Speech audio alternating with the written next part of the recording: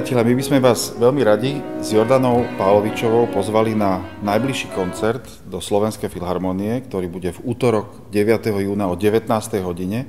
A veľmi sa tešíme, že už vás môžeme pozvať, aby ste prišli aj fyzicky s nami sa potešiť s hudbou. Je to vlastne taká nová vec po troch mesiacoch, že sme boli väčšina z nás za, na online streamoch a koncertoch cez internet a teraz môžeme vám už zahrať fyzicky.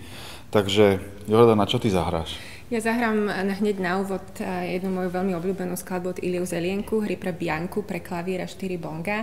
Takže začneme tak eh, trošku netypicky a potom um, myslím, že budeme pokračovať slovenskou tvorbou po, aj ďalej. Potom budem ja pokračovať môjim obľúbeným skladateľom, ktorého dlhoročne hrávam, Vladom Godárom, ktorý napísal skladbu Pasakália v typicky pasakáliovej forme, čiže v trojdobom metre a e, solová, nie dlhá, asi 6-minútová skladba, veľmi pekné variácie.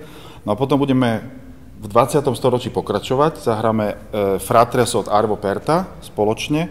No a potom Vzdáme našu obľúbenú pohádku. pohádku od Leoša Janačka, ktorú aj ty a ja spolu sme niekoľkokrát už hrali a máme ju veľmi radi.